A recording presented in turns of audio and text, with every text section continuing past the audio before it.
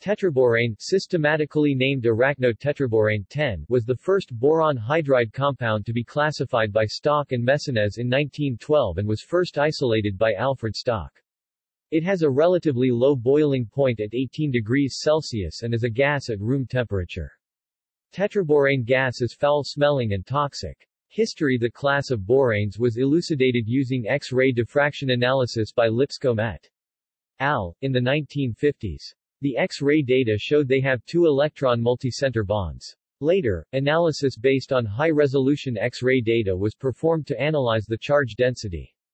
The comparison of the diffraction data from X-ray diffraction and electron diffraction gave suspected bond lengths, B1, B2 equals 1.84 A, B1, B3 equals 1.71 A, H equals 1.19 A, B1, H mu equals 1.33 A, B2, H mu equals 1.43 A structure. The parent structure of boranes is referred to as closo, but when the second and third vertices are removed the new structure is B4H10 and referred to to as arachno.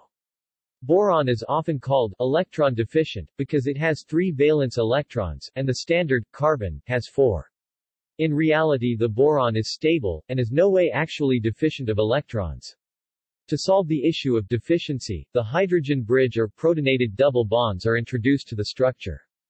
Each boron is sp3 hybridized and the configuration of the three hydrogens surrounding borons B1 and B3 is approximately trigonal and suggests approximately tetrahedral hybridization for these borons which would predict bond angles of 120. However, the boron arrangements can be classified as fragments of either the icosahedron or the octahedron because the bond angles are actually between 105 to 90.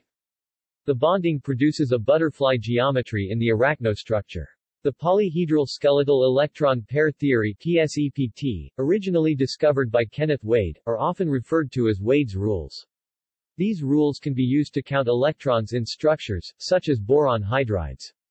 Isomers scientists are currently working to produce the bis diboranyl isomer of the arachno tetraborane structure. The bis diboranyl is expected to have a lower energy at the Hartree-Fock method HF level. By using Wurtz reaction or coupling of B2H5I in the presence of the sodium amalgam, scientists believe they have produced the bis isomer. Once the isomer was created, they tried to discover the mechanism that could then be used to turn the isomer into the arachno tetraborane structure.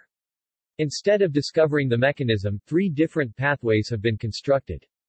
Path 1, similar to the dissociative pathway to B3H7 and BH3 proposed by McKee. Path 2, concerted pathway over two transition states separated by a local minimum and is different than those suggested by McKee. Path 3, involves the penta-coordinated isomers as intermediates, also a concerted pathway Path 2 and 3 are more likely, because they are more energetically favored with energies of 33.1 kilocalories per mole and 22.7 kilocalories per mole respectively. Safety Because it is easily oxidized it must be kept under vacuum. Tetraborane ignites when it comes in contact with air, oxygen, and nitric acid.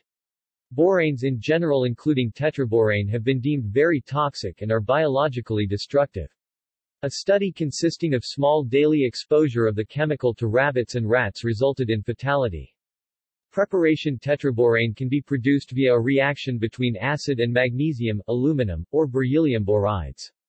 Hydrolysis of magnesium boride, hydrogenation of boron halide at high temperatures, and the pyrolysis of diborane also produce tetraborane.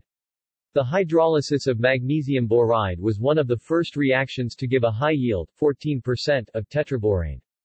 Phosphoric acid proved to be the most efficient acid other than hydrochloric and sulfuric acid in the reaction with magnesium boride. Reduction of boron halides with hydrogen in the presence of metal hydride at high temperatures also produces tetraborane references external links boron tetraborane 10 Webelements periodic table. Webelements.com retrieved the 7th of June 2017 Linus Pauling Research Notebooks Special Collections and Archives Research Center. Osalibrary.orst.edu retrieved the 7th of June 2017